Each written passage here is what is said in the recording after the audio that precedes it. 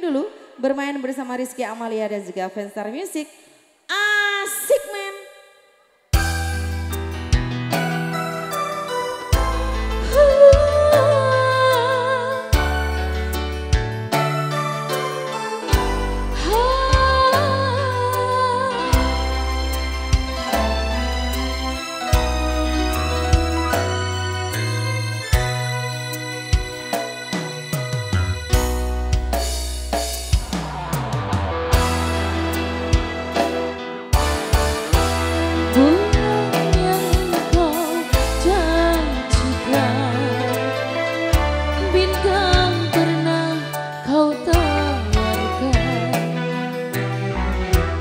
yang ada hanya